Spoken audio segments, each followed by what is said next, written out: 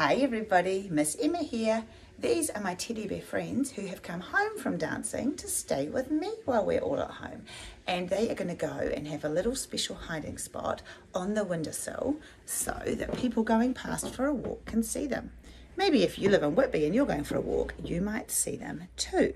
So what I'm going to do is put them right around here. Here they go. And they're coming, whoops, they're coming to sit on the window peek out looking for friends. I think they're going to have quite a fun time there. They can wave at everybody who walks past. See you later, teddies.